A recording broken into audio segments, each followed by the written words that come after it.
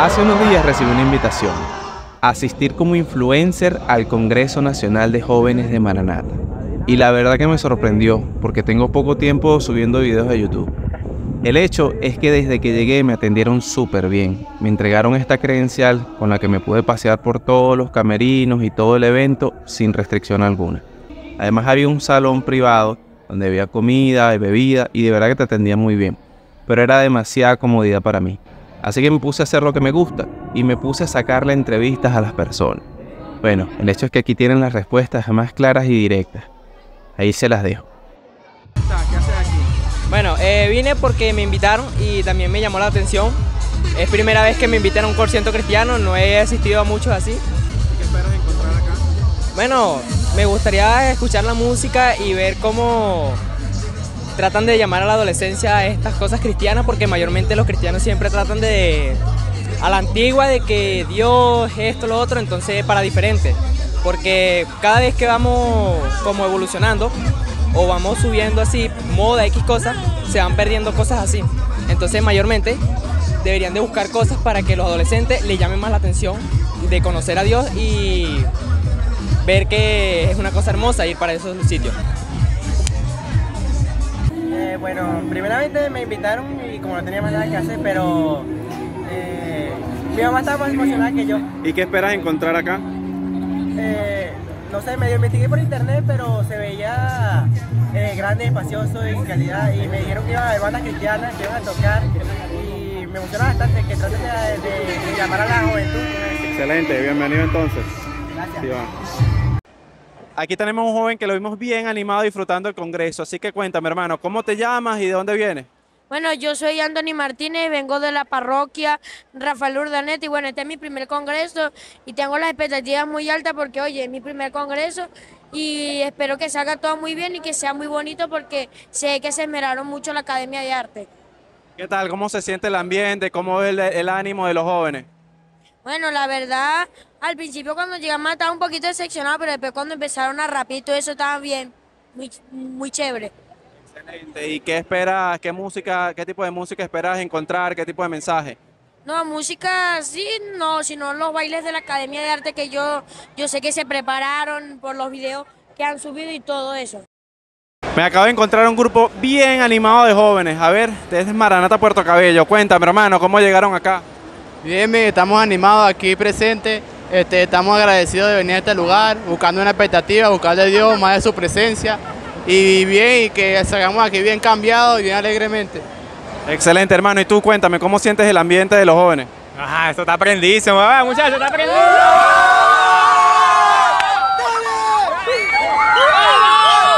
Entonces, Cuéntame, ¿qué te motivó a venir acá al Congreso? Él. ¿Él te invitó? Sí. Qué bueno.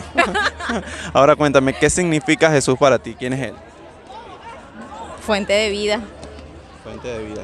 claro. El que nos guía siempre, pues. Perfecto. Y esa fe que tú tienes, ¿cómo crees que impacta o que cambia tu día a día de manera real? Si no tengo a Jesús en mi corazón, las cosas no van bien. Que traten de acercarse a Él mediante la oración, que con Jesús todas las cosas van mejor. ¿Y por qué piensas que es necesario tener una relación diaria con, con Dios? Eh, de no, o sea, es súper necesario. Bueno, chévere, bienvenida al Congreso y que lo disfrutes. Gracias. Y gracias al hermano que le invitó. ¿Qué tal, hermano? ¿Cómo estás? ¿Qué te motivó a venir acá al Congreso? Ah, Estábamos en el estacionamiento de la casa y, Lo dijeron. claro, el, el señor de allá de la casa, pues, viene. Ajá, nos invitó, claro, hizo el llamado, pues, y ahí junto con todos. Viniste el día de ayer, ¿qué te pareció? No, ayer no, no vine. hubo transporte. No hubo transporte por la casa. ¿Y qué expectativas tienes hoy? ¿Qué esperas encontrar? Más que todo comida. Ajá, eso. Ahora te hago una pregunta. ¿Qué significa Jesús para ti? ¿Quién es Él para ti? Jesús. Bueno, eh, nuestro Salvador, Y yo lo vi por nosotros. claro. Correcto. Así que bueno, eh, esa imagen de Jesús hoy la vas a ver todavía aún mayor a través de las palabras y las experiencias que se van a vivir en este congreso, ¿ok? Así que bienvenido y disfruten muchachos. Dale, gracias, gracias. vale. Y una foto. Foto por Facebook. Me encanta, los jóvenes tienen un hambre por Dios, por las cosas de Dios y me encanta. Ayer estuvo buenísimo, hoy vamos a ver. Mucha música, me dijeron que hoy es más urbano. Eh, no me gusta mucho el género, pero sí me encanta ver cómo los jóvenes están entregados totalmente a, a servirle a Dios. ¿Qué significa Él para ti? Lo es todo. Lo es todo. Es el creador de nuestras vidas, es el que nos dirige hacia su propósito y el que nos da un sentido eh, para vivir. Esa fe que tú tienes en Jesús, ¿cómo crees que impacta o cambia tu día a día? Mira, hasta en las cosas más pequeñas, eh, hasta el simple hecho de respirar. Dios es maravilloso y nos muestra su amor a través de esas cosas pequeñas, a través de nuestra familia, a través de, de un regalo inesperado y eso se valora. Exacto. Y las personas que todavía no tienen una relación personal con Dios o no lo conocen de esa manera, ¿qué consejos les das o qué motivación les das a ellos? Mira, que lo busquen, que lo busquen porque este mundo, con todos sus placeres, nada nos va a poder llenar. Nada, mira, siempre vamos a tener sed, siempre vamos a estar hambrientos y Jesús es el único que puede calmar nuestra sed. Perfecto, muchas gracias. Que disfrutes el congreso. Gracias.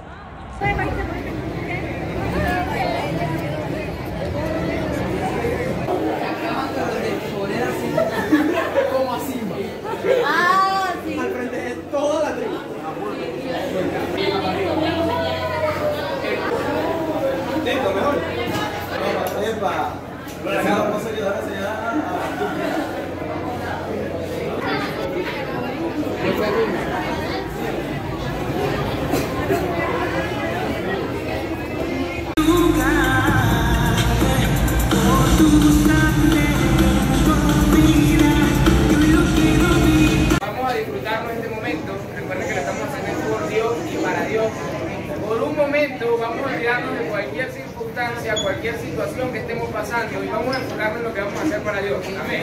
Quiero que se relajen, que disfruten y que den el ciento por uno allá. Que salgamos o nos bajemos de allá con la satisfacción de que dimos todo lo que había en nosotros para dar a cada una de esas personas que viene expectante. Si se llegó a equivocar, X, disfrútese lo que esté haciendo y que nadie sepa lo que pasó allá.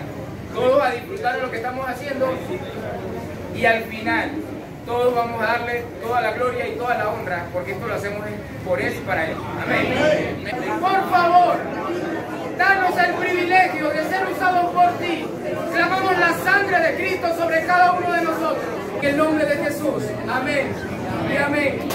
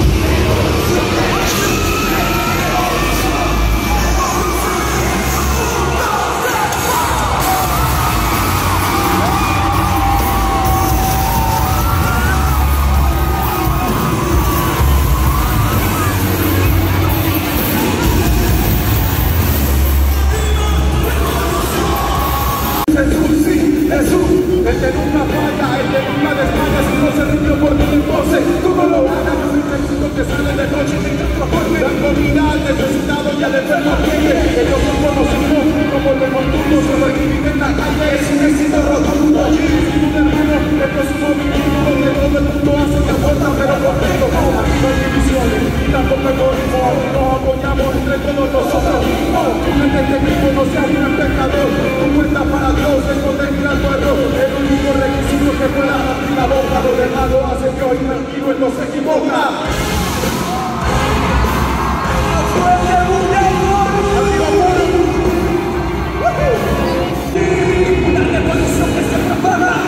Para!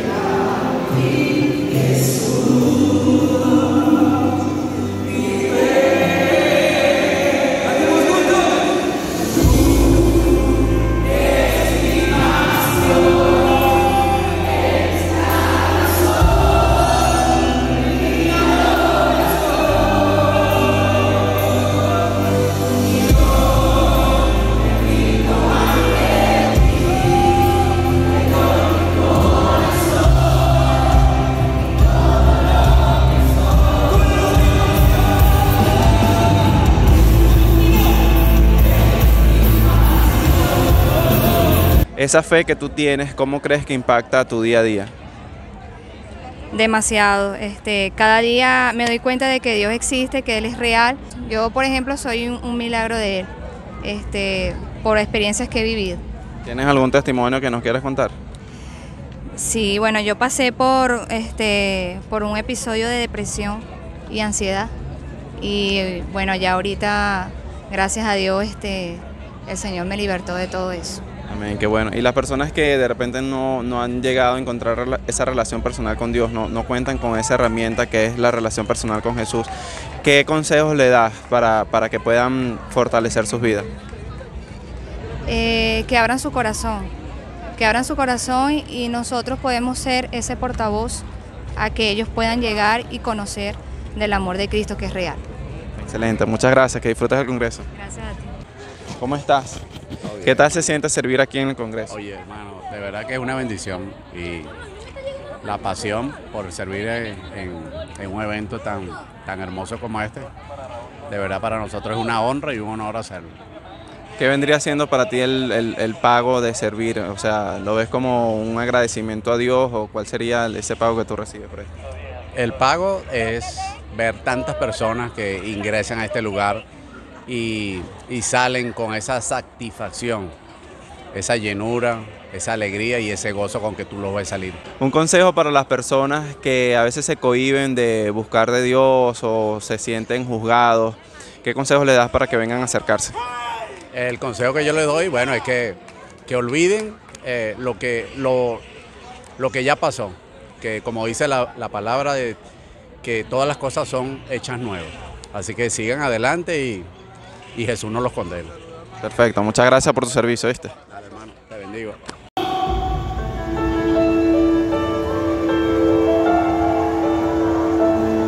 Él caminaba con amor y ese amor era tan fuerte cargaba el peso de una inmensa cruz. Entonces, ¿cómo señalar, cómo juzgar o criticar a una persona cuando nadie nos ama como Jesús? Él, a sí mismo, no buscó otro modo, dio su cuerpo, dio su alma, dio su sangre, entregó todo por ti, porque te amaba a ti, aún sin conocerte. Cada gota de su sangre dio por ti para salvarte. Dime, ¿quién siente inocente condena a muerte? Lo hace únicamente para que nadie pueda condenar. Desnuda completamente, una vergüenza suficiente como para que no tengas de que avergonzarte. Tienes no hay ningún pecado, Jesús no haya pagado. Hay pecado que pueda limitarte a ser perdonado. Como el ladrón a su lado fue salvado, salvado para que entiendas que nadie como él